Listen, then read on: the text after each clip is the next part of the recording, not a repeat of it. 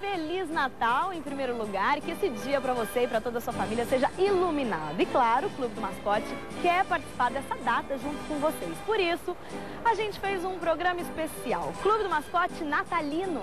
Gente,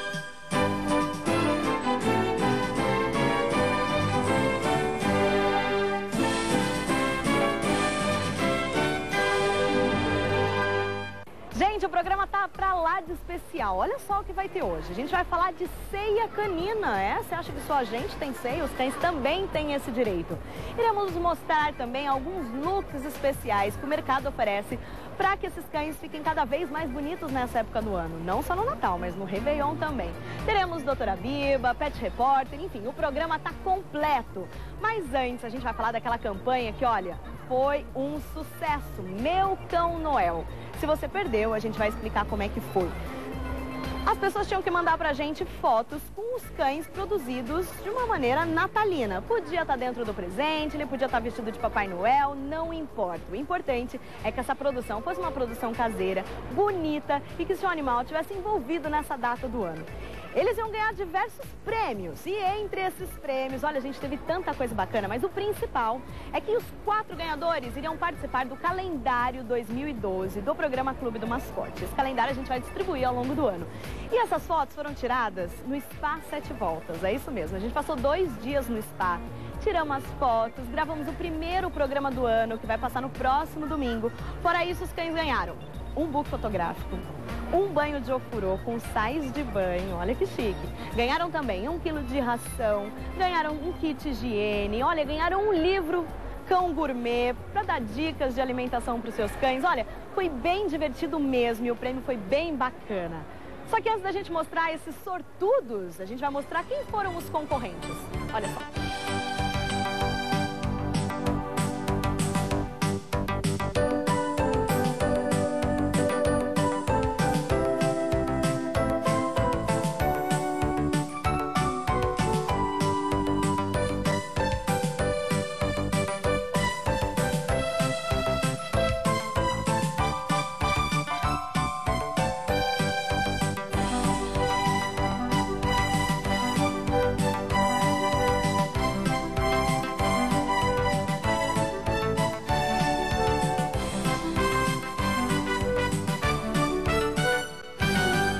Olha, gente, foi de fato muito divertido, viu? Foi gostoso receber todas essas fotos. A gente queria agradecer primeiramente a todo mundo que mandou foto, que participou, que olha, já valeu a pena. Tenho certeza que aí na sua casa foi bem divertido produzir essas fotos.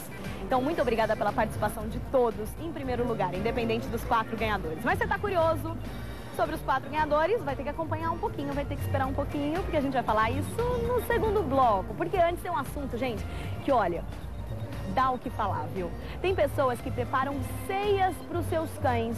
É isso mesmo, você acha que só a gente tem direito de comer uma boa ceia nesse dia tão especial? Que nada, os cães também têm muito direito a isso. E tem lugares que preparam ceias, ó, da água na boca, olha só.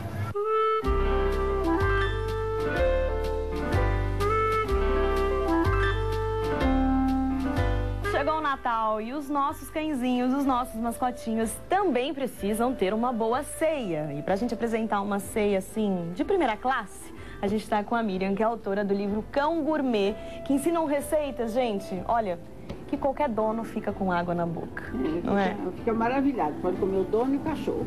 Conta pra gente, você tava me contando que são petiscos. É, são Né? petiscos, porque o cachorro tem que se alimentar com a ração, porque a ração vem todas as vitaminas e o cachorro precisa comer uma ração bem balanceada, né?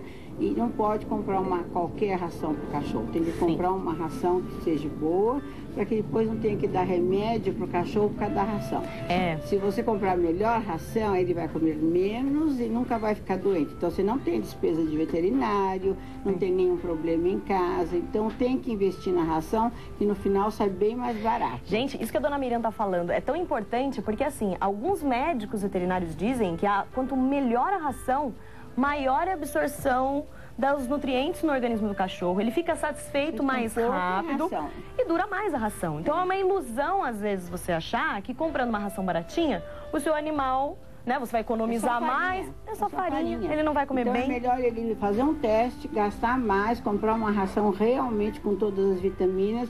A economia, a economia que ele vai fazer, ele não vai acreditar. Só vamos falar um pouco da nossa ceia. A gente preparou, a dona Miriam preparou pra gente aqui uma ceia especial canina. Essa aqui é uma torta de frango. O pessoal tá vendo em casa. Ai, que delícia. A gente tá com uma cara boa. Aí aqui ela é uma torta de carne moída. Isso.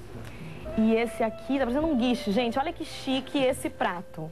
Eu, eu duvido que o dono, assim, se a gente fizer um, uma ceia como essa, acho que todo proprietário senta, come, e nem, percebe que tá no livro do cão gourmet, entendeu?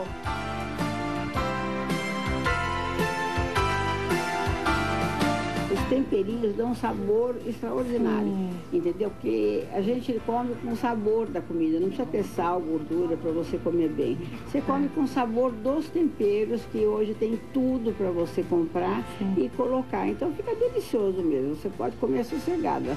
Tomar um chá com seu cachorrinho à tarde. Ah, é, e pode, viu gente? Pode mesmo. Eu vou experimentar. Dona Miriam, a Uau. senhora experimentou também e eu, eu é muito gostoso. Podia até aceitar um cafezinho, viu, Neco? Pra gente comer com biscoitinho. Hum. Foi muito bom. Ó. Olha, dona Miriam, muito obrigada por essa ceia para os cães. Mas eu confesso que eu curti. Eu, eu confesso que eu também quero experimentar um a um desses pratos.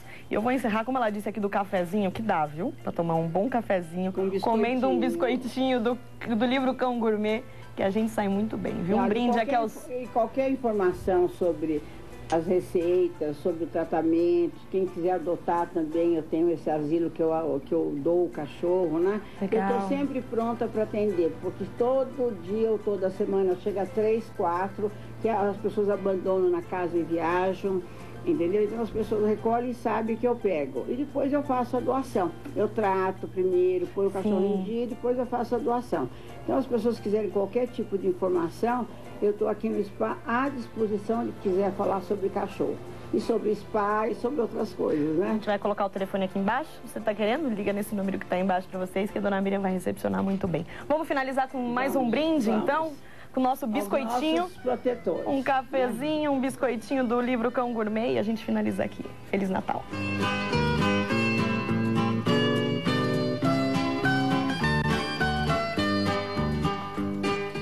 Olha, gente, eu não sei vocês, mas pelo menos quando eu fui fazer essa matéria, eu fiquei com água na boca, viu? Esses cachorrinhos, de fato, são muito bem tratados.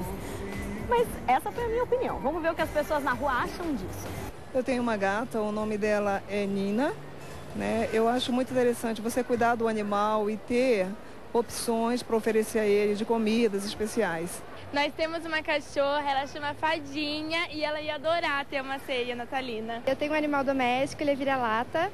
Ele chama Pikachu e eu adoraria dar uma ceia de Natal para ele. Eu acho bem legal, assim, dar isso pros bichinhos, porque faz eles se sentirem assim que nem gente, sabe? Eu sou super a favor da ceia pros cães. Eu tenho um jabuti que chama Tiquinha e eu vou fazer uma ceia para ela. Vou colocar umas frutinhas, que ela adora frutas. Vou colocar um pouquinho de carne, porque ela é um pouquinho carnívora. E vou comemorar com ela. Bom, gente, agora quem tem um recado especial para vocês é a doutora Biba, no quadro Quero Muito Ficar Com Ele. É? Vocês acharam que ele ia ficar de fora? Não, não, não. E a história da doutora Biba realmente é uma história muito linda. E você que está querendo adotar um animal, fica de olhinho nesse mascotinho. Bom dia, pessoal. Bom dia, Michele. Bom, é Natal, né? E o Natal é uma época onde as crianças pedem muito cachorro de presente, não é isso? Eu acho fantástico. Essa relação do cachorro com a criança, ela é fundamental até para a formação da pessoa, dessa criança adulta. Mas é importante os pais pontuarem essa relação. Por quê? O cachorro não é brinquedo. Então ele é um animal que vai estar entrando nessa casa e ficando nessa casa um bom tempo, mais ou menos uns 15 anos. É um animal que faz cocô, xixi, muitas vezes não quer brincar.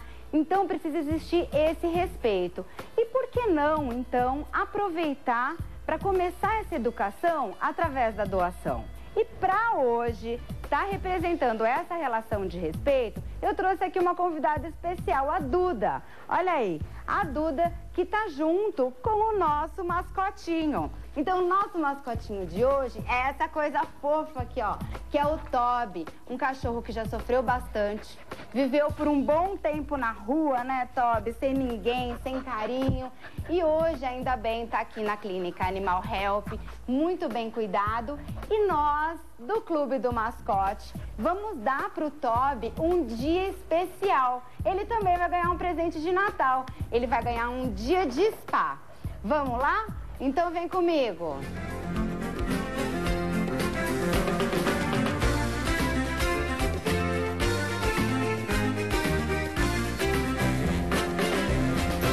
Ufa! Bom, pessoal, depois de sais de banho, shampoo, condicionador, hidratantes e tudo que teve direito, aqui está o resultado, ó, do nosso mascotinho de hoje.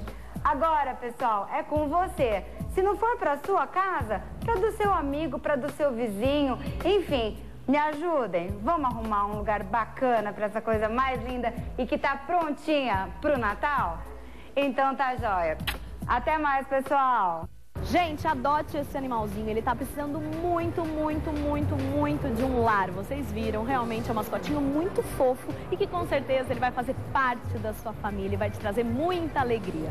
Bom, o Clube do Mascote vai para um rápido intervalo, mas gente, não saia daí, hein? A gente vai falar no próximo bloco de looks caninos. Looks dessa época do ano, Natal, muitas pessoas compram roupinhas especiais para os seus mascotinhos ficarem tão bonitos quanto nós, quanto o seu proprietário. E também iremos falar de roupa de Réveillon. Você já comprou a roupinha do Réveillon do seu mascotinho? Então não saia daí, o Clube do Mascote vai mostrar tudo isso para você. A gente já volta.